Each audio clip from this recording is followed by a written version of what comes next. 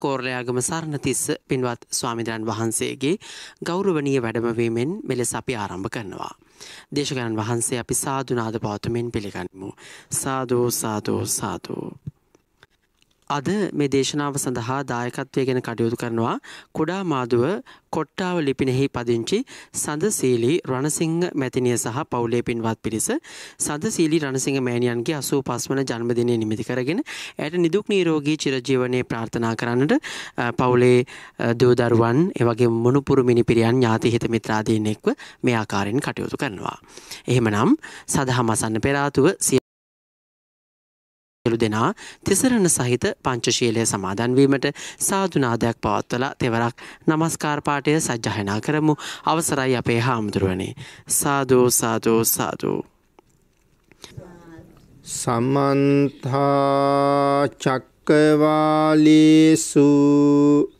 අත්‍රාගච්චන්තු දේවතා සද්ධම්මං මුනිරාජස්ස සුනන්තු සග්ගමොක්ඛදං ධම්මස්සවන කාලු අයං බදන්තා ධම්මස්සවන කාලු අයං බදන්තා ධම්මස්සවන කාලු අයං භදන්තා.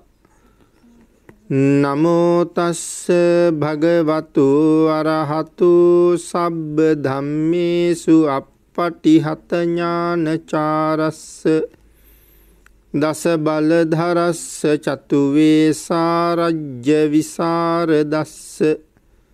සබ්බ සත් අත්තුත්තමස්ස ධම්මිස්ස රස්ස ධම්මරාජස්ස ධම්මස්සාමිස්ස තථාගතස්ස සබ්බඤුනෝ සම්මා සම්බුද්දස්ස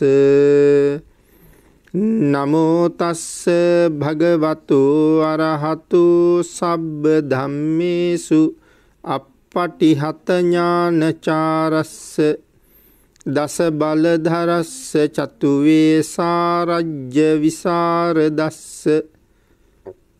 සබ්බ සත්තුත්තමස්ස ධම්මිස්ස රස්ස ධම්මරාජස්ස ධම්මස්සාමිස්ස තථාගතස්ස සබ්බඤුනෝ සම්මා සම්බුද්දස්ස නමෝතස්ස භගවතු අරහතු සබ්බ ධම්මේසු අපපටිහත ඥානචාරස්ස දස බලධරස්ස චතුවේ සාරජ්‍ය විසරදස්ස සබ්බ සත්තුත්තමස්ස ධම්මිස්ස රස්ස ධම්මරාජස්ස ධම්මස්සාමිස්ස තථාගතස්ස සබ්බඤුනෝ සම්මා සම්බුද්දස්ස. සද්ධර්ම ශ්‍රාවක සදහවත් කාරුණික පින්නතුනි බොහෝම ශ්‍රද්ධාවෙන් යුක්තව සියලු දෙනාම සූදානම් වෙන්නේ තෙලෝගුරු ශාන්තිනායක සම්මා සම්බුදුරජාණන් වහන්සේ විසින් ලෝක සත්වයන් පිළිබඳව මහත් වූ දයාවෙන් කරුණාවෙන් මෛත්‍රියෙන් යුක්තව අවබෝධ කරගෙන දේශනා කොට වදාළ පරම ගම්බීර වූ ශ්‍රී සද්ධර්ම රතනයෙන් බොහෝම පුංචි කොටසක් දේශනා කරවගෙන ධර්ම ගෞරවය පෙරදරි කරගෙන දේශනාගත ධර්මය ශ්‍රවණය කරන්නත් එසේ ධර්ම ශ්‍රවණය කිරීමෙන් ලැබෙන අවවාද අනුශාසනා තම තමන්ගේ ජීවිතවලට එකතු කරගෙන වඩාත් නිවැරදි මෙලව ජීවිතයක් ධර්මානුකූලව පෝෂණය කරගන්නත් ධර්මානුකූලව නිවැරදි කරගත්ත මෙලව ජීවිතයක් තුළින් නිවන් ජක්නා ජාති දක්වා සුගතිගාමී ආත්ම භවයන්හි සැනසෙමින් ප්‍රාර්ථනා කරන බෝධියෙන් සැප සහගත ප්‍රතිපදාවකින් ඊ타ම ඉක්මන් භවයක උතුම් චතුරාර්ය සත්‍ය ධර්මය අවබෝධ කරගෙන මේ සංසාරෙන් එතර වීමේ බලාපොරොත්තු ඇතුව ඒ උතුම් බලාපොරොත්තු උතුම් ප්‍රාර්ථනා එලෙසින්ම මුදුන්පත් කර ගැනීම සඳහා මේ උතුම් වූ සද්ධර්ම දානානි සංසයත් ධර්ම ශ්‍රවණානි සංසයත් සියලු දෙනාටම හේතු වේවා කියලා ප්‍රාර්ථනා කරනවා. පින්නතුනි අද ධර්මානුශාසනාවේ මාතෘකාව හැටියට මම යොදා ගන්න කල්පනා කළේ විශේෂයෙන් දෙමව්පියන් විසින් සුදුසු කාලයේ තමන්ගේ දරුවන්ට ශිල්ප ශාස්ත්‍ර නොයිගැන්වීමත් ඒ වගේම වැඩිවියට පත්වෙන දරුවන් කල්්‍යාන මිත්‍රයන්ගේ ඇසුරට නොකි යොමු නොකරීමත් කියන කාරණාවන්හි ආදීනව පැහැදිලි කරමින් භාගිතුන් වහන්සේ ජීවමානව වැඩ ඉන්න කාලේ කරුණු දේශනා කරන්නට යෙදුන අපේ පේතවත්තු පාලියේ උරග වර්ගයේ සඳහන් වෙන ශේස්ත්‍රෝපම කියන පේතවත්තුව ඇසුරු කරගෙන මේ ධර්මානු ශාසනාව සිදු කරන්න. පිනතින මේ පේතවත්තුවම කෙත්තූපම පේතවත්තුව කියලත් හඳුන්වනවා. ශේස්ත්‍රූපම පේතවත්තුව කියලත් හඳුන්වනවා ශේස්ත්‍රය කියල කියන්නෙත් කෙත කියල කියන්නෙත් එකම ගොයිපලක් නිසා. මේ පේතවත් වූ ආරම්භ වෙලා තියෙන මේ විදිහට අපේ භාගිතුන් වහන්සේ රජගහනුවර වේලු අනාරාමේ වැඩ ඉන්න කාලේ. මේ රජගහනුවර එක සිටුවරයෙක් ජීවත් වෙනවා මහ විශාල ධනස්කන්ධයක් තිබුණා. ඒ නිසා මහදන සිටු කියන නමින් තමයි ඔහුව හඳුන්වුවේ. මේ සිටුවරයට එකම දරුවයි හිටියේ. ඒ පිරිමි දරුවෙක්. අධ්‍යාපනය ලබලදිය යුතු වයසට දරුව පැමුණුනාට පස්සේ සිටුවරයත් සිටු දේවියත් කල්පනා කළේ අපේ දරුවට අධ්‍යාපනය ලබන්න කියලා අමුතු වෙහෙසක් ලබල දෙන්න වුවමනාවක් නැහැ. අධ්‍යාපනය අවශ්‍ය ධනය හරි හම්බ කරගෙන යහපත් සාර්ථක ජීවිතයක් ගත කරන්න කියලන හිතන්නේ. ඒ නිසා මේගොල්ලන්ට හොඳට ධනය තියෙනවා. සිරිතුමා කල්පනා කරන්නේ පුතා අවුරුදු සීයක් ජීවත් වෙනවනම්. දවසකට කහවනු දහසක් ඔහු වියදන් කළත්. කිසිම අපහසුවකින් තොරව සියක් අවුරුද්දක් ඔහුට ජීවත්තෙන්ට ඕනෑවටත් වඩා ධනය අපි ළඟ තියෙනවා.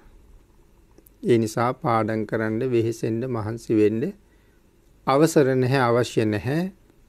ඔහු බොහොම නිදහසේ හැදිල වැඩිල පෝෂණය වනාව කියල කල්පනා කළා.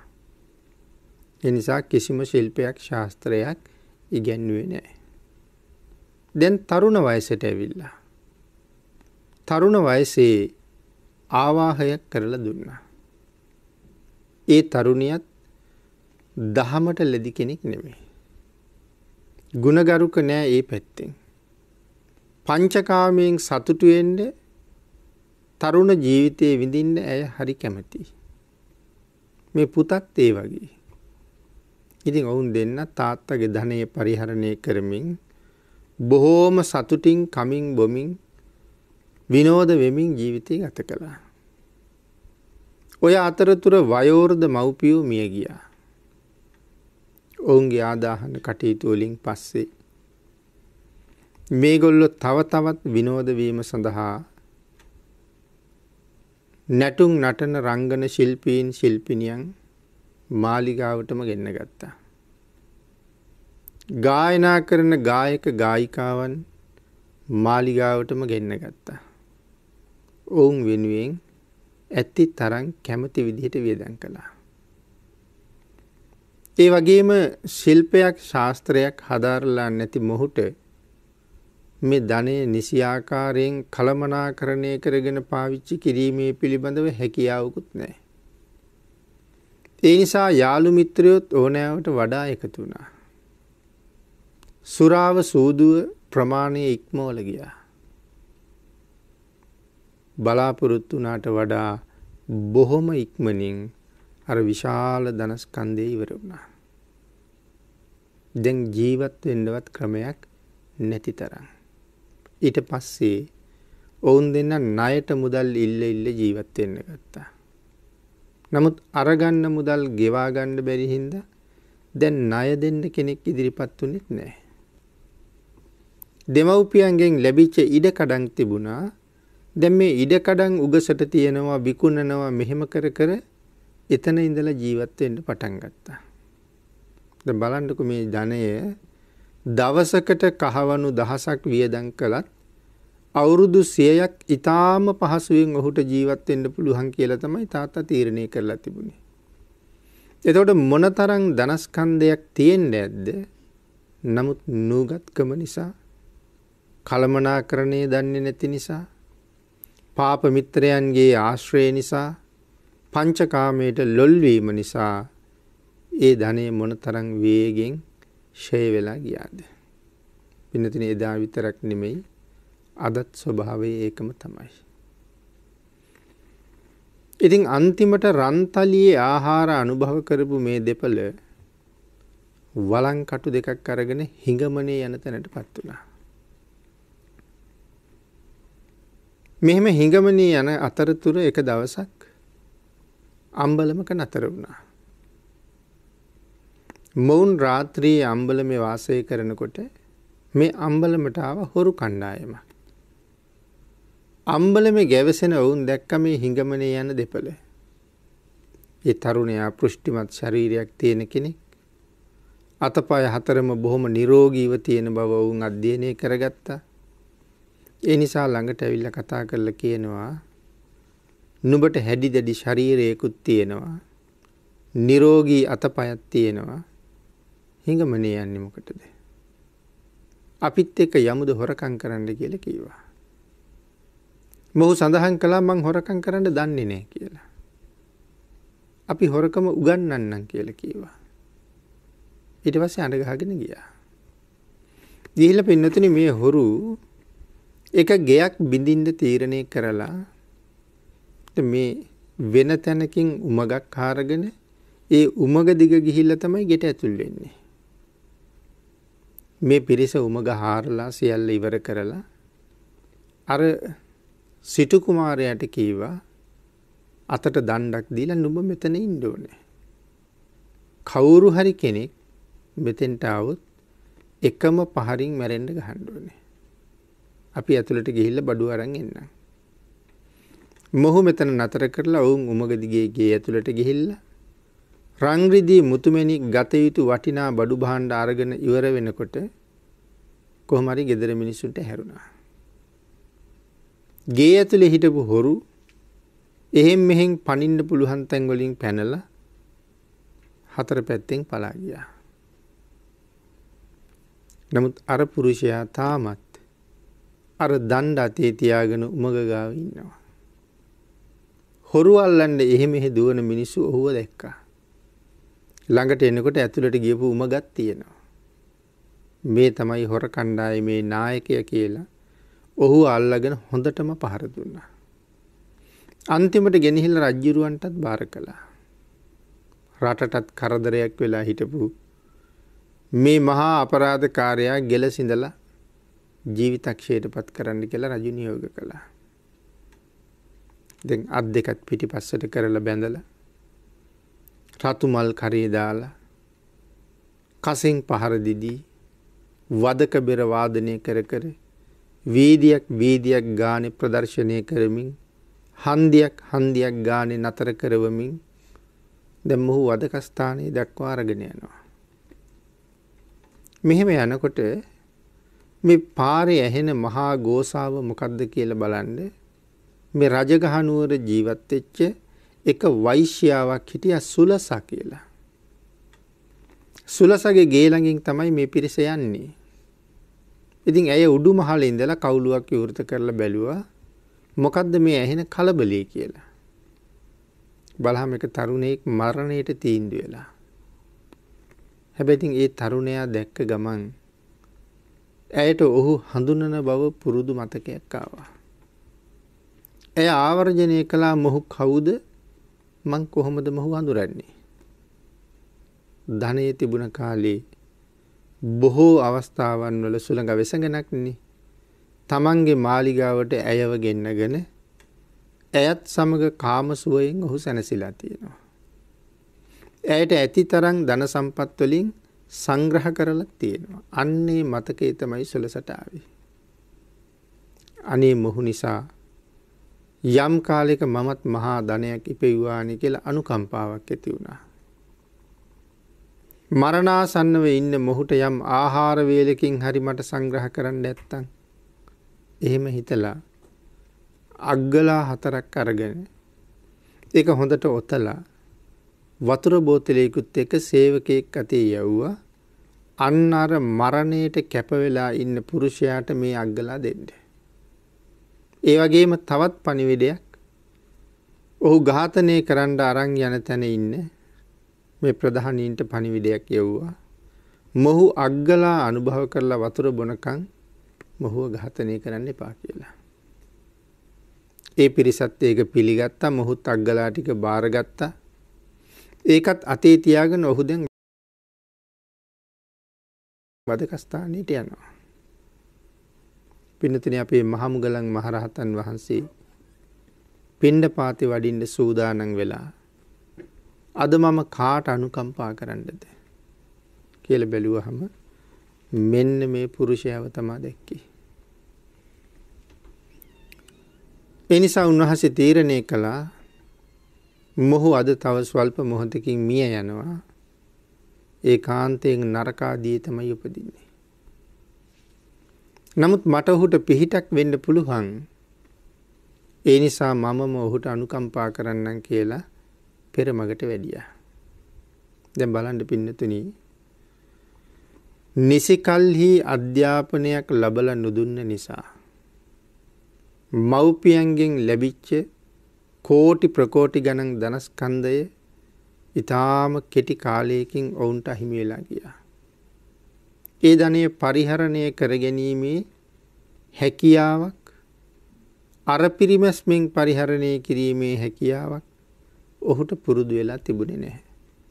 අඩුම තරමේ මම වියදං කරනවා මිසක් උපයන්නේ නෑනෙ කියන කාරණාව ගැන කල්පනා කරලා මේ තියෙන දනස්කන්දය අරි පරිස්සං කරගන්න ඕන කියන සිතුවිල්ලක්වත් ඔහුටවත් ඔහුගේ බිරිඳට ඇතිවුණෙත් නෑ. ඒ නිසා මේ අභාග්‍ය සම්පන්න ඉරණමට පත්වෙන්නත් ඔහුට සිද්ධ වුණා.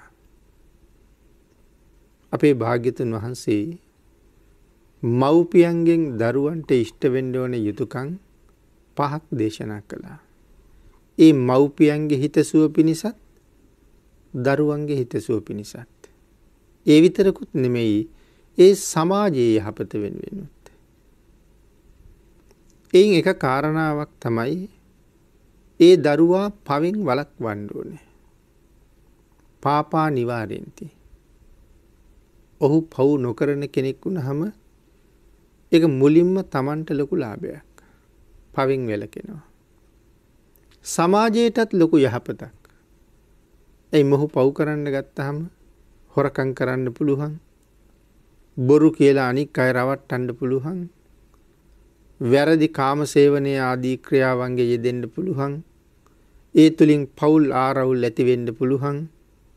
මේ පවෙන් වලක් වනවා කියන කාරණාව අති දීර්ගව බොහෝ පැතිකඩවල් ඔස්සේ සාකච්ඡා කරන්න පුළුවන් කරුණක්. එවන් කරුණු ගණනාවක් ආවරණය කරවමින් තමයි මේ කරුණු අපේ භාගිතුන් වහන්සේ සරුවඥතා ඥානයෙන් දැකල අවබෝධ කරගෙන දේශනා කරන්නේ. දෙවැනි කාරණාව තමයි කල්්‍යාන මිත්‍රයන්ගේ ඇසුරට හැම වෙලාවෙම යොදවන්ඩ ඕනේ. මේ ලෝකයේ කල්්‍යාන මිත්‍රයෝ සහ පාප මිත්‍රයෝ කියල දෙ පිරිසක් ඉන්නවා. ධම්මපද පාලියේ බොහෝ තැන්වල අපේ භාග්‍යතුන් වහන්සේ මේ පිළිබඳව කරුණු දේශනා කළා. සාමාන්‍යයෙන් කෙනෙක් ඇසුරට කෙනෙක් තෝරගන්නව නම් කොහොම කෙනෙක් තෝරගත යුතුද? භාග්‍යතුන් වහන්සේගේ අවවාදේ නම් හැම මොහොතකම තමන්ට වඩා ගුණවත් කෙනෙක් ඇසුරු කරන්න. තමන්ට වඩා ගුණයෙන් උසස් කෙනෙක් හම්බ නූනොත් තමන් යම් ගුණයක පිහිටලා සීලයක් ආරක්ෂා කරගෙන වාසය කරනවද තමන් හා සමාන කෙනෙක් හොයාගන්නට. මොනම හේතුවක් නිසාවත් තමන්ට වඩා ගුණයෙන් හීන කෙනෙක් නම් ඇසුරු කරන්නම එපා කියන එක භාග්‍යතුන් වහන්සේගේ අනුශාසනාවයි.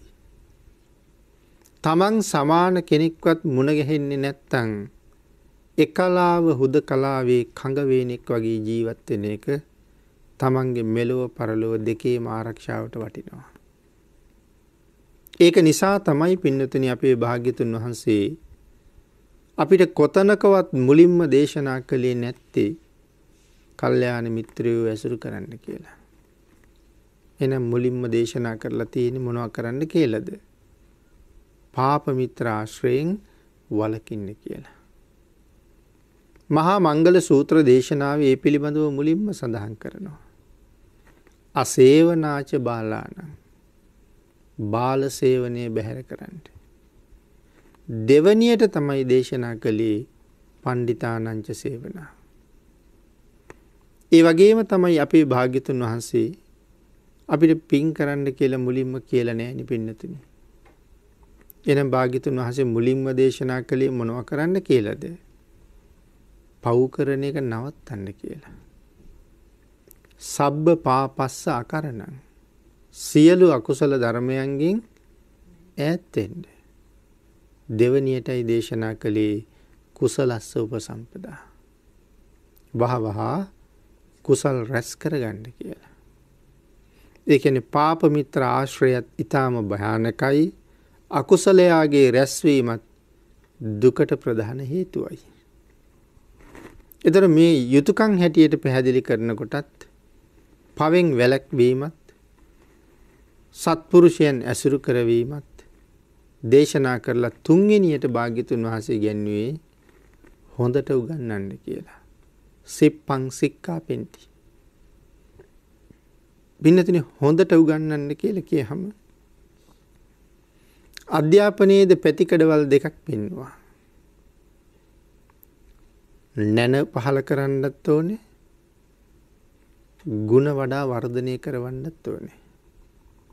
ඒක නිසයි පැරණි පඩිවරු සඳහන් කළේ නැන ගුණ බෙලෙන් යුතු පුතුමය ඉතාගරු. එනම් නැනයි ගුණයි දෙකම තියෙන්ඩ ඕනේ. හැබැයි වර්තමානය බලහම අපි ඔය කාරණාවෙනුත් ටිකක් දුරස් වෙලා අධ්‍යාපනය ලබල දෙන්න නම් ලොකූ උනන්දුවක් පෙන්නෙනවා. නමුත් පවෙන් වැලැක්වීම සහ සත්පුරුෂයෙන් ඇසුරු කරවීම කියන කාරණාව ගැනනං සැලකිලිමත් නැහැ. ඒක නිසා අනාගතයේ රටජාතිය භාරගණ්ඩ ඉන්න පිරිසක් මේ රටේ ඉන්නවනං ඔවුන්ගෙන් බාගෙට බාගෙටත් වඩා වැඩි පිරිසක් මේ වෙනකොට සුරා දූර්තයන් බවට පත්වෙලා. මත් කුඩුවලට ඇබ්බෙහි වෙලා. විවිධ මද්‍රව්‍ය පාවිච්චයට යමු වෙලා. ඉති ඒහින්ද අපි කොච්චර බලාගෙන හිටියත් අදට වඩා හොඳ හෙටක්. අපිට ඒක හැමදාම සිහිනයක් විතරක් වෙන තැනට එනකං ඇවිල්ලා. පාසල් පද්ධතිය වැඩි ප්‍රමාණයක් මද්‍රව්‍ය වලින් වර්තමාන වෙනකොට විනාශ වෙලා ගිහිල්ලයි තියෙන්නේ. ස්ත්‍රී පුරුෂ කියල බේදයක් ඒකට දැන් නැහැ. නමුත් එතකොට විශේෂයෙන් ඒ කාරණාවෙදී රටට ජාතියට ආගමට තුනටම ඒ බලපෑම එල්ල වෙනවා. සත්පුරුෂයන්ගේ ආශ්‍රය ලබා දෙමින් තමන්ගේ දරුවා පිළිබඳව මනාව හොයල බලල විමසුම් නුවනකින් කටයුතු කලා නං ඔවුන්ගේ සුළු වෙනස්කම පිළිබඳව ලොකු අවධානයක් යොමු කලා නං ඒ අපරාධය එහෙම්මම පාලනය කරගන්න තිබුණ. ඒ අවාසනාවන්ත බව දුරු කරගන්න තිබුණ නමුත් භාග්‍යතුන් වහන්සේට කීකරු නැතිකමින් අපිට දැන් හුඟක් වැරදිලයි තියෙන්නේ. ඒ නිසා ගුණ දුන්නෙත් නැහැ නැන විතරක් දෙන්න උත්සාහ කළා. නමුත් පින්නතුනි දරුවෙක් මල්ලෙක් නමුත් අපි හදාගත්තේ කවද හරි අපට බැරි දවසක ඔවුන් අපිව බලාගනී කියන චේතනාවත් තියෙනවනේ. නමුත් අපි බොහෝම වෙහෙසිලා මහන්සි වෙලා දුක් විඳලා ශිල්ප හදාරවල මේ රටේ ඊටාම උසස් තැනට ගොඩනගලා තියහම එවන් අය කී දෙනෙකුගේ මව්පියෝ වර්තමාන වෙනකොට වැඩිහිටි නිවාසවල කඳුළු පෙරෙන අය බවට පත් වෙලාද ඊටාම ප්‍රභූ පැලැන්තියේ කී දෙනෙකුගේ මව්පියෝ වැඩිහිටි නිවාසවල ඉන්නවද ඊළඟට එහෙම ශිල්ප හදාරවල ආවාහ විවාහ කරවලා දුන්නහම වයෝර්ධ වූ මව සහ පියා පෝෂණය කරමින් ඔවුන් ජීවත්වනතුරු ඔවුන් ළඟ සිටිය යුතුයි කියන හැඟීම අත්හැරලා තමන්ගේ පවුල පෝෂණය කර ගැනීමේ පරමාර්ථය ඇතුව රට ඇත හැරලා යන කී දෙනෙක් ඉන්නවද. දරුවන්ගෙන් මව්පියන් මව්පියන්ට දරුවන්ගෙන් යුතුකම අවශ්‍යම වෙලාවේ වයෝර්දෝවුන් සමහරලාවට මහල් දෙක තුන තියෙන ගෙවල්වල අන්තාසරණ වෙලා. ගුණය කියන දේ නැති වුණහම අපිට කොයි තරම් ඒක බලපානවද? ඉතින් එහෙනම් මනා අධ්‍යාපනයක් දෙන්න කියලා කියහම මේ ಗುಣ නැන දෙකම අවශ්‍යයි. හොරකම් කිරීම, වංචා කිරීම, භීෂණය, දූෂණය, අල්ලස සමාජයක පරිහානියට කොච්චර බලපානවද? නමුත් අපි බොහෝම වෙහෙසිලා මහන්සි වෙලා උගන්වපු අය රටේ උසස් තැන්වල ඉඳගෙන මේ කාරණාවල් වල කොයි තරම්නම් යෙදෙනවද? ඒ නිසා සමස්ත සමාජ සංස්ථාවම කොයි තරම් කඩා වැටිලා තියෙනවද? වර්තමාන රටක ජීවත් වෙන්න යම් අපහසුතාවයක් අපිට අද ඇති වෙලා නම් ඒවට ප්‍රධාන බලපෑම් මේ කාරණාවල් වලින් එල්ල වෙලා තියෙනවා. එනම් භාග්‍යතුන් වහන්සේගේ වචනයට විරුද්ධ වුණාම ඒ සමාජ සංස්ථාව පිරිහෙනවා කියන එක අපිට අපේ ජීවිත කාලෙ මනාව අත්දකින්න ලැබිලා තියෙනවා. මං කියන්නේ ඒක එහෙමම අත්දකින්නකොට ශ්‍රද්ධාව තවත් වැඩි වෙන්න තමයි තියෙන්නේ. ඉතින් මේ වාගේ මේ මව්පියොත් මේ දරුවන් වෙනුවෙන් කළ යුතු ඒ යුතුයකම් ටික සම්පූර්ණ නොකළ නිසා තමයි මේ පරිහානිය. පින්නතුනි අර තැනැත්තා මහමුගලන් මහරහතන් වහන්සේ වඩිනව දැකලා. තමන් ළඟ තිබිච්ච අග්ගල හතර උන්වහන්සේට පූජා කරන්න තීරණය කළා. මොහොතකින් මරණයට පත්වෙන්න ඉන්න මට අග්ගලාවේ රස බලල ඇති වැඩීමකක්ද. ඒ නිසා වදකයන්ගෙන් අවසරයක් ඉල්ලගෙන මේ අග්ගලා හතර පූජ කළා. පැංබෝතලිත් පූජ කළා. මහමුගලන් මහරහතන් වහස දන්නවා. නිරයේ ඉපදෙන්න ඉන්න මොහු මේ අග්ගලා මට පූජ කරනවා. ඒ අග්ගලා පූජා කරලා ඔහු රුක්ෂ දේවතාවෙක් වෙලා උපදිනවා. ඒ නිසාමයි මේ වැඩම කළේ. ඔහුගේ හිත පහන් කරවමින් ඔහුට පේන තැනක වාඩි වෙලා මහමොග්ගල්ලානයන් වහන්සේ ඒ අග්ගලා හතරම වැළඳවා. රාජපුරුෂයෝ ඔහු වදකස්ථානයට ගෙනහිල්ලා එකම කඩු පහරින් හිස කඳින් වෙන් කළා. නමුත් පින්නතුනී බොහොම සතුටින්නේ ඔහු දන් දුන්නේ. දානයේ දීලා ඉවර වෙලා කල්පනා කළේ මේ දානයවත් මගේ ජීවිතයේ මේ අන්තිම මොහොතේ හරි දීගන්න මට අවස්ථාව හදලා දුන්නේ මගෙන් උපකාර ලබාපු සුලසානං වෛශ්‍යාවයි. එතකොට අන්තිම මොහොතේ ඇය මට උපකාරයක් කළා කියලා ඒ වෛශ්‍යාව පිළිබඳව නැවත වතාවක් ලෝභසිතක් ඇති වුණා. දන් දුන්න ප්‍රීතියට වඩා ඒ ලෝභසිතම ඉස්මතු වුණා. සඳහන් කරනවා මහමුගලන් මහරහතන් වහන්සේ වගේ ශ්‍රේෂ්ඨ සිල්වත් උත්තම රතනයකට දම් පූජා කරපු කෙනෙක් ඒ කාන්තයෙන් දෙව්ලෝම උපදිනවා. ඒ තරම්ම ඒ කුසලයේ බලවත්. එතකොට සුගතියේ උපදින්න නම් අවශ්‍ය පින්නතනේ දානය නෙමෙයි. සුගතියේ උපදින්න අවශ්‍ය සීලය.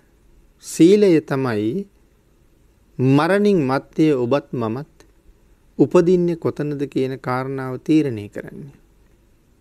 ඉතින් සිල් නැතුව මිය යන්න ඉන්න අය ඒ කාරණාව දැනගෙන සිල්වත් වෙන එක වටිනවා. මොකද හෙට උදේ වෙන්න කලින් අපි කී දෙනෙක් මිය යන්න පුළුවන්ද? පසුව සිල් රකින්නවා කියලා කාරණාවකට එළඹෙන්න බැහැ පින්නතුනි. කාරණාව දැනගත්තා නම් දැනගත්ත මොහොතේම යෙදෙන එක තමයි ඥානවන්තයාගේ සිරිත. අජ්ජේව කිච්ඡං ආතප්පං අද කළ යුතු දේ අදම කරන්න. ඇයි කෝ ජඤ්ඤා මරණං සුවේ කවුද දන්නේ හෙට මැරෙන්නේ නැහැ කියලා. ඒක නිසා සූදානම් වෙලාම ඉන්න එක තමයි වටින්නේ.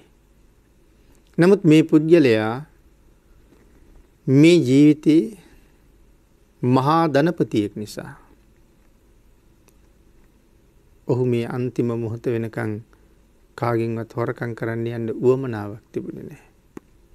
සමහරලාට ප්‍රාණඝාත ආදී අකුසල් කරලා ධනෙ හම්බ කරන්න තරම් උවමනාවක් තිබුණේ නැහැ. බොරු කියලා අනුන් රවට්ටන්න උවමනාවක් තියෙන්න නැතුව ඇති. නමුත් සුරා දූර්තව කාම දූර්තව වාසය කළා. සංසාරේ රැස් කරගත්ත මහ විශාල කුසලයක් තිබුණ නිසානේ මේ තරම් සිටුවරයෙක්ගේ පුතෙක් වෙන්න ලැබුණේ. පිනතනි සුවිශාල පිං සංසාරේ රැස් කරපු. හිතලා බලන්න සමහර මව්පියෝ දහදුක් විඳලා කොහොම කොහොම හරි ධනෙ උපයලා මාලිගාවල් වාගේ ගෙවල් හදලා කෝටි ගණන් වටින වාහන අරගෙන ජීවත් වෙනවා වුණාට ඒගොල්ලෝ එතෙන්ට ඇවිල්ලා තියෙන්නේ නොවිඳිනා දුක් විඳලා.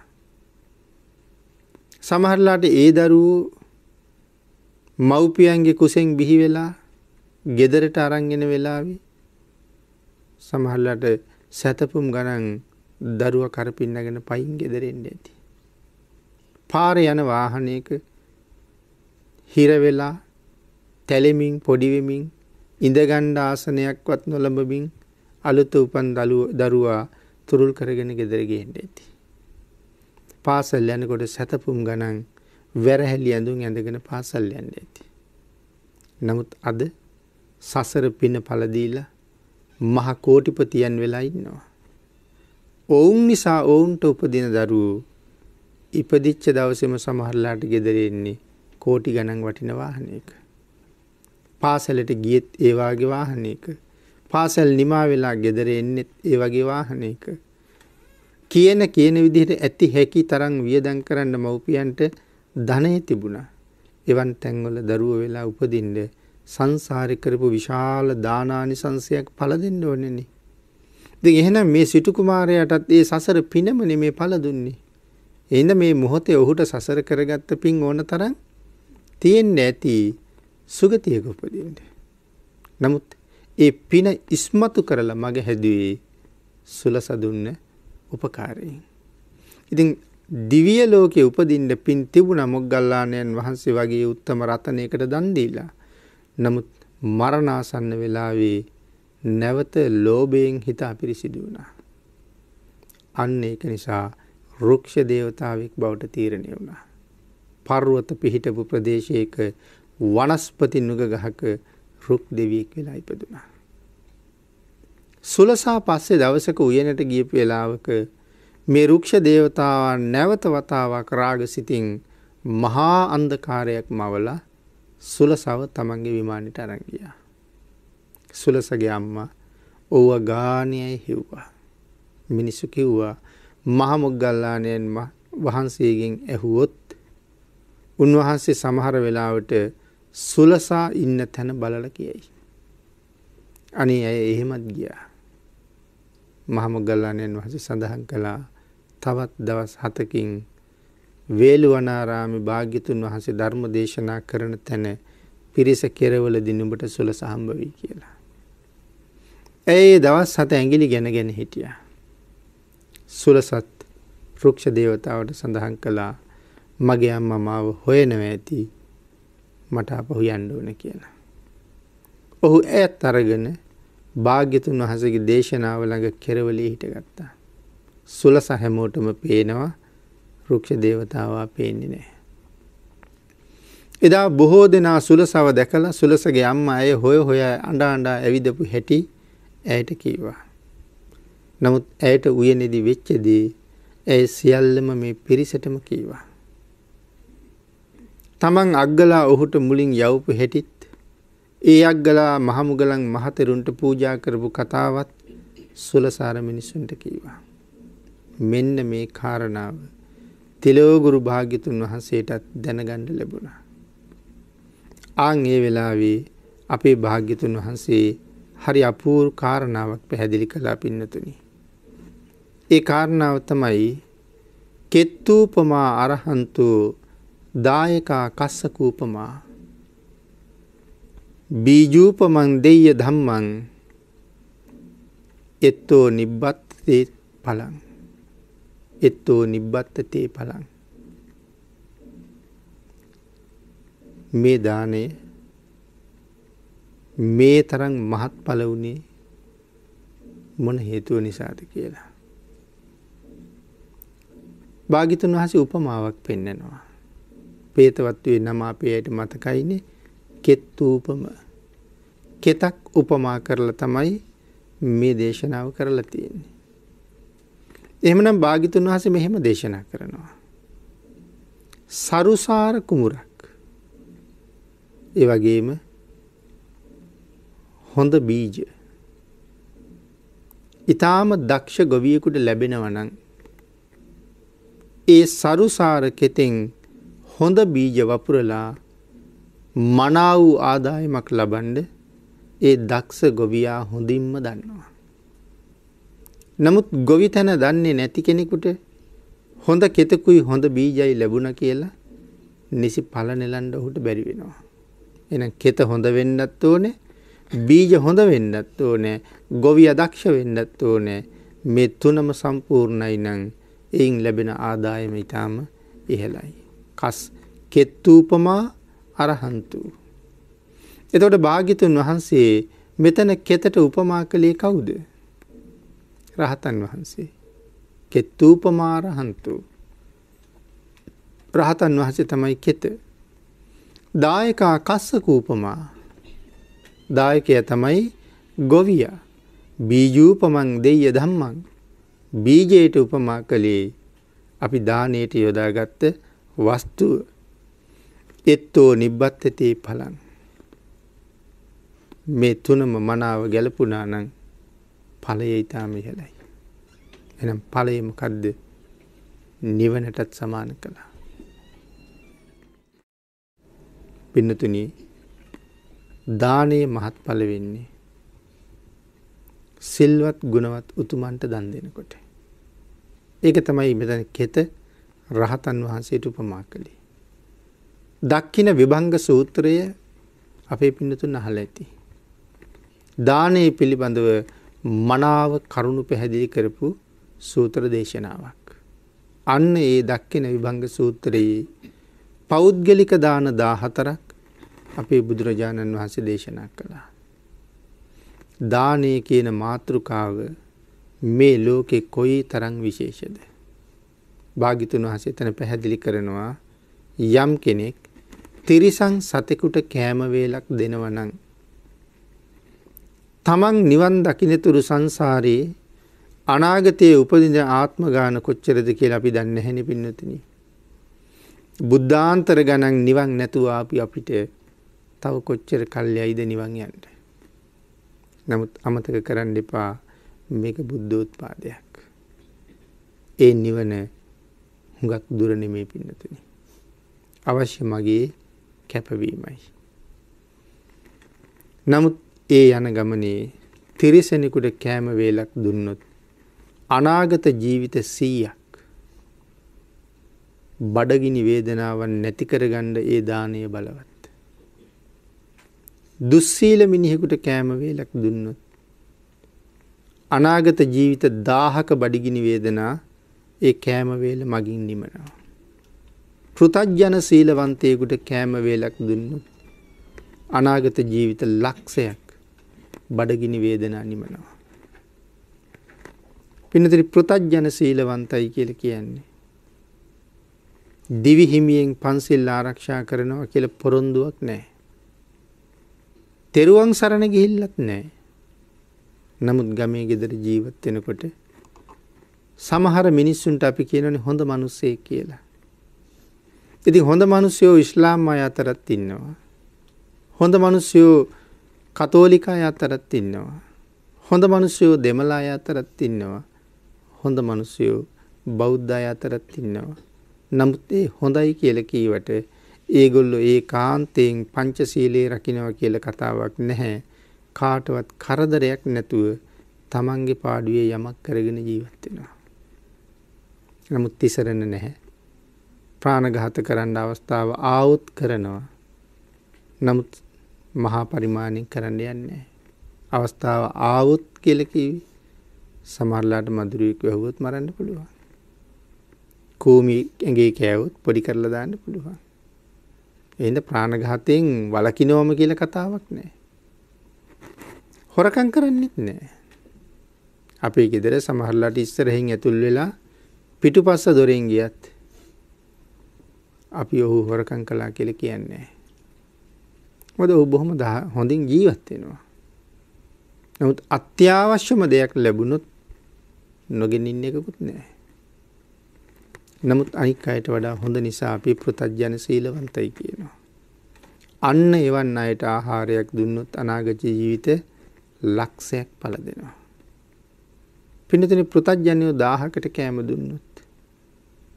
අනාගත ජීවිත කීයක් පලතීජ. ලක්ෂය ගුණ කරන්න වෙනවා දාසින්. එතොට එකයි බිඳු අටක් ලැබෙනවා අපිට උත්තරී. භාගිතුන් වහස ඊළඟට දේශනා කරන්නේ තිසරණ නැතත් පංච අභිග්ඥා අෂ්ට සමාපත්ති ලබාගත්ත බාහිර තවුසු බුද්ධ කාලි භාගිතුන් වහස පහළවෙන්න කලිනුත් හිටියන හසින් ගිපුයි. අන්න එහෙම කෙනෙකුට කෑම වේලක් දී ගණ්ඩ ලැබුණොත් අනාගත ජීවිත කෝටි ලක්ෂයක් පල දෙනවා. බුදුන් දහම් සඟුම් සරණ ගීපු කෙනෙකුට කෑම වේලක් දුන්නොත්. අනාගත ජීවිත අසංකේයක් පල දෙනවා. එතර මන් සඳහන් කළා පෘතජ්ජන සීලවන්තාය දහසකට කෑම දුන්නොත් අනාගත ජීවිත එකයි බිඳු අටක පල දෙනවා. බුදුන් දහම් සඟුන් හරියටම සරණ ගියපු කෙනෙකුට කෑම වේලක් දුන්නොත් අනාගත ජීවිත අසංකෙයියක් පල දෙනවා කියල කියන්නේ එකයි බිඳු එකසිය හතලිහක් පල දෙනවා. දැන්තේරනද දහසකට දුන්න දානෙයි තනි කෙනාට දුන්න දානී වෙනස. පිනතින ඔබ හරියටම තෙරුවන් සරණ ගීපු කෙනෙක් නං ඇත්තටම ඔබ සමාජයට කල්්‍යයාන මිත්‍රයෙක් නෙමේද. ඔබ තෙරුවන් සරණ ගියේ ඔබට ලාභයක් පිණිස.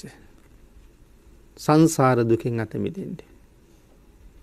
නමුත් ඔබ ඔබට ලාභයක් කරගන්නකොට ඔබ අනුන්ට කොච්චර ලාභයක් කරලද. අන්න ඒකයි මේ ශාසනය ගැන්වේ පුළුවන් තරන් ආත්මාර්ථකාමී වෙන්න කියලා. හැබැයි මෙතන මේ ආත්මාර්ථකාමී කියල කියන්නේ. අර සාමාන්‍ය වචනය තුළ අපි දකින කපටි කයිරාටිකයෙක් වෙන්න කියන එක නෙමේ. තමන්ගේ ආත්මයට හොඳ අර්ථයක් සපයන කෙනා. තමන්ගේ ජීවිතයට හොඳ සාධාරණයක් කරන කෙනා. ආත්මාර්ථකාමියාය. ආත්මය අර්ථවත් කරන කෙනාය. ඒ අදහසින් තමයි කියන හොඳ ආත්මාර්ථකාමියෙක් වෙන්න කියලා. ආන්ගේ ආත්මාර්ථකාමීත්වයම පරාර්ථයක්. ොද තමන් තමන් වෙනුවෙන් ගුණපුරණකොට ඔහුට යම් උපකාරයක් කරන කෙනාට මොන තරං ලාභයක් ලැබෙනවාද. එනම් මේ ශාසනයේ ගුණපුරණ සංඝයාට මහ රහතන් වහන්සේලාට දෙන්න දානය මොන තරං මහත් පලද කියන කාරණාව පිඩතන සීමා පනවලා ප්‍රමාණවත් කරන්නේ කොහොමද. ආං ඒකයි දේශනා කළේ හොඳ කෙතක හොඳ බීජ වපුරන්න පුළුවන්න. මොනවද හොඳ බීජ කියල කියන්නේ. දෙය ධර්මයනි ඒ දෙය ධර්මයේ ධාර්මිකව සපයාගත්ත දෙයක් වෙන්න ඕනේ. හොරකං කරලා මංකොල්ල කාලා අල්ලස් අරගෙන ප්‍රාණඝාත කරලා ඔය වගේ දේවල් වලින් උපයපු ධනයක් නෙමෙයි. භාග්‍යතුන් වහන්සේ තහනම් කරපු වැරදි ධනෝපායන ක්‍රම කීපයක් තියෙනවනේ.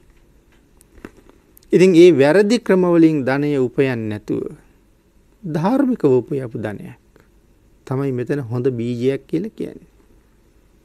කස්සකා දක්ෂ ගොවිය කියලා කියන්නේ දන් දෙන්න හොඳ ශේස්ත්‍රයක් මුණ ගැහුණාම මනාව සකසලා පිළියෙල කරලා කැප වෙලා වෙහෙස මහන්සිය බලන්න නැතුව Tamanට රැස් කරගන්න තියෙන පින වෙනුවෙන් මහත් වූ වෑයමක යෙදෙනවා.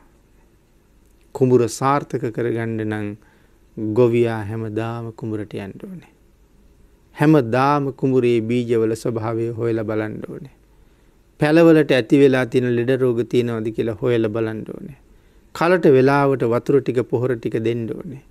ගොවියගේ යුතුයකම් ටික හරියටම කෙරෙනකොට ඒ පැල ටික ඔහුට සාර්ථකස්වන්නක් දෙනවා. එහෙනම් ප්‍රතිග්‍රාහකයයි දෙය ධර්මයයි පිරිසිදුව තියෙනවා. තමන් අවබෝධින් සකසලා පිළියල කරලා මනාව දන් දෙනවනං ඔහු මහත් වූ ඵලයක් ගෙයින් ලබා ගන්නවා. දානය කියන මාතෘකාව හරි සංකීර්ණයි. ඒක මේ ශාසනයේ මහා පරිච්ඡේදයක්. ඒ නිසා මේ වාගේ පොඩි කාලයකින් අපිට ඒක කතා කරලා ඉවර කරන්න පුළුවන්කමක් නැහැ පින්නතුනි. නමුත් මේ කාලයත් එක්ක පේතවත්වයේ සඳහන් කරලා තියෙන ප්‍රමාණය විතරයි අපිට කතා කරන්න කාලේ තියෙන්නේ. භාගිතුන් වහන්සේ දෙවනියට දේශනා කරනවා. ඒතං බීජං කසී කෙත්තං පේතානං දායකස්සච තං පේතා පරිබුංජන්ති දතා පුඤ්ඤේන වඩ්ඩති පින්නතන අපි මේ සරු කෙතක සරු බීජ වපුරලා මහත් වූ කුසලයක් අත්පත් කරගෙන අපි ඊළඟට මොකද කරන්නේ? අපි රැස් කරගත්ත පින අපේ නමින් මියගිය සියලු දෙනාටම අනුමෝදන් කරනවා. ඒක අපේ සිරිතයි. එතකොට මෙතන පේතා කියලා කියන්නේ කාටද? මියගිය සියලු දෙනාම හඳුන්වන්නේ ප්‍රේත කියන නමින්. අපි කියන්නේ ඥාති ප්‍රේත කියලා. එතකොට අපේ අය මරණයට පත්වෙලා පින් බලාපොරොත්තු තැන්වල ඉපදිලා ඉන්නව නං. අපි අනුමෝදන් කරන මේ පින ඒ කාන්තයෙන් ඔවුන්ට ලැබෙනවා. ඒක තමයි දන්දීලා අපි හරි ලස්සන උපමාවක් පෙන්න්නේ. භාජනයක් උඩ භාජනයක් තියලා තව භාජනකින් ඒකට වතුරක් කරනවා. අපි ඔකට කියන්නේ පැන් වඩනවා කියලා. උඩ භාජනයේ පිරීලා යට භාජනයේ දක්වා වතුර ඉතිරිලා ගලාගෙන යනවා. මොකද්ද මේකෙන් පෙන්වන උපමාව? මනුස්ස ලෝකයේ නැමැති උසස් ආත්ම භාවයේ ඉඳලා අපි අනුමෝදන් කරන කුසල් പ്രേතාත්මේ නැමැති පහත් ලෝකේ කරා ගලාගෙන යනවා කියන සංඥාව තමයි මේකෙන් මේ පෙන්වන්නේ. ඉතින් අපි මෙහි ඉඳලා අනුමෝදන් කරන පින්. පින් ගන්න පුළුවන් තැන්වල ඉන්න අපේ ඥාතීන්ට ඒකාන්තයෙන් ලැබෙනවා. ඉදේව කුසලං කත්තා පේතේව පටිපුච්චයන් පේතේව පටිපූජයන් සග්ගංච කපති මට්ඨානං කම්මං කත්තාන බද්ධකම්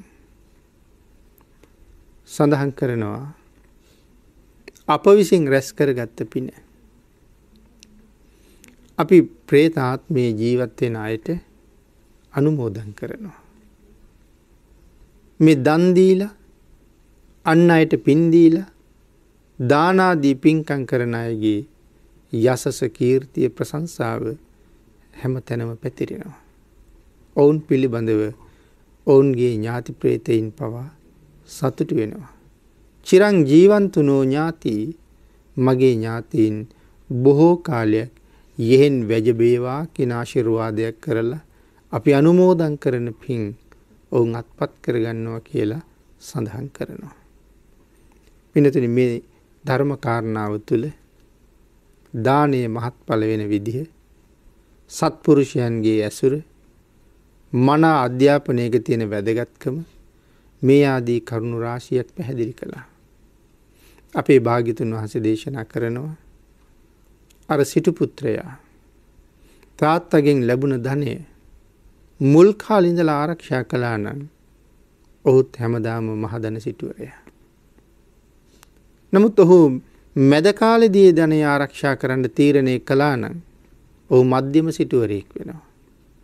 වයෝර්ධ කාලෙ ධනය ආරක්ෂා කරන්න තීරණය කළා නැතන් තුන්ගෙන අවදියේ ධනය ආරක්ෂා කරන්න තීරණය කලා නම් ඔහු සුළු සිටුවරයෙක් වෙනවා ඔහුට හිඟමනය යන්න වෙන්නේ. නමුත් ඒක කාලයකවත් ඔහු ධනය සුරක්ෂිත කළිත් නැහැ. ඔහු මුල් කාලෙ ශාසනයේ පැවිදි වුණා නං මේ බුද්ධ ශාසනය රහත්තෙන්ට හිටපු කෙනෙ. ඔහු මැද කාලෙ ශාසනයේ පැවිදි වුණා නං සකදාගාමී හෝ අනාගාමී වෙන්ඩ හිටපු කෙනෙ.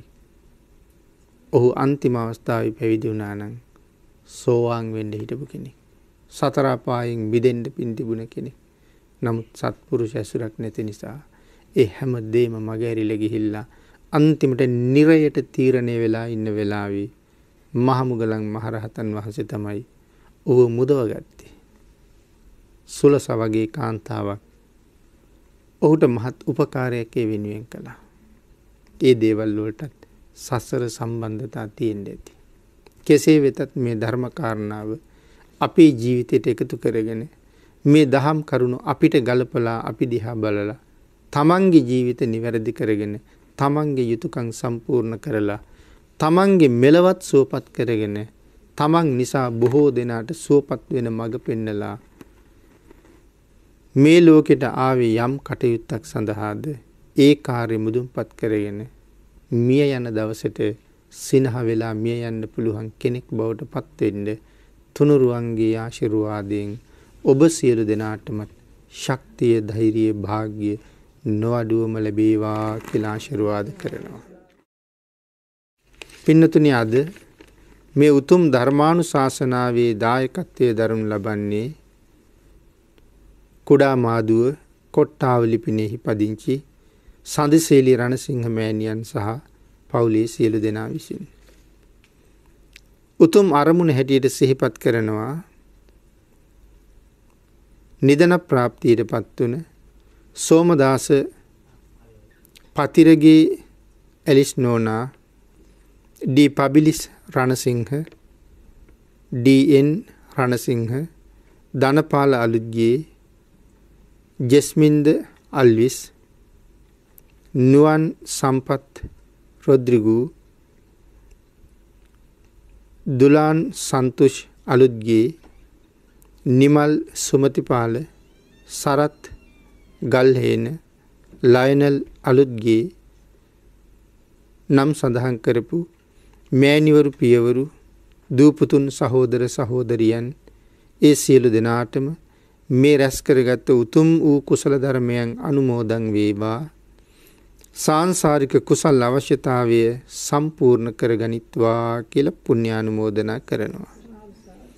ඒ සියලු ඥාතිමිත්‍රාදීන්ට සඳසීලි මෑණියන්ගේ දෙමව්පියන්ට මේ උතුම් සද්ධර්ම දානමේ පින්කම සිදු කරමින් පුණ්‍යානුමෝදනා කිරීමේ ප්‍රධාන පරමාර්ථය සඳසීලි රණසිංහ මෑණියන්ගේ අසූ පස්වන ජන්මදිනය යෙදී ඇති බැවින් ඒ මෑණියන්ට ආශිර්වාද පිණිස සිදු කරන මේ පින්කමේදී තමන්ගේ උතුම් යුතුකමක් හැටියට තමයි මව්පියන් ඇතුළු ඥාතීන්ට මේ පුණ්‍යානුමෝදනාව සිදු කරනු ලබන්නේ.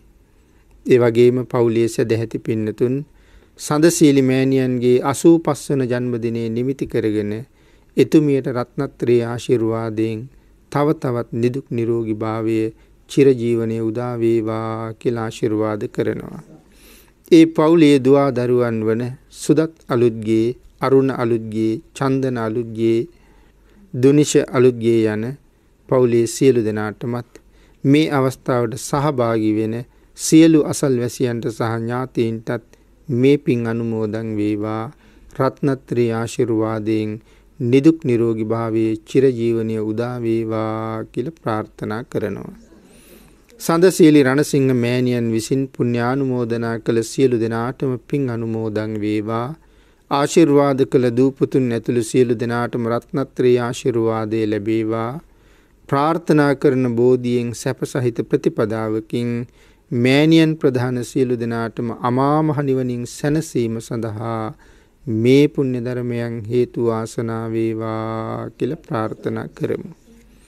ආකාසට්ඨා ච බුම්මට්ඨා දේවානාගා මහිද්దికා පුඤ්ඤන්තං අනුමෝදිත්වා චිරං රක්칸තු ලෝක සාසනං දේවෝ වස්සතු කාලේන සස්සිය සම්පත්ති හෝතු ච පීතෝ භවතු ලෝකෝ ච රාජා භවතු ධම්මිකෝ